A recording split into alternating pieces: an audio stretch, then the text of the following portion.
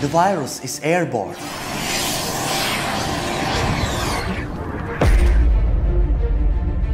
First is infected woman, then man. We know who you are, Ethan, and we know your mother. We know what she's done.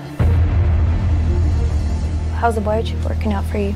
It's taking some getting used to. It's still glitching. Where is she? I have to find her. We know that you have a prototype MedX biochip installed. The new generations have all the bugs fixed.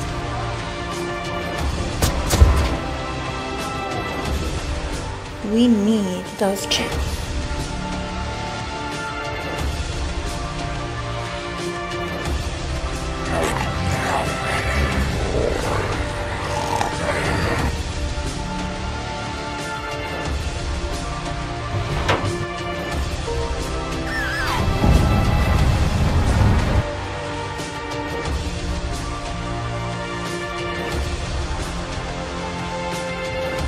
They're coming for you, hundreds and thousands. The first ships have been launched to our new colony on Mars.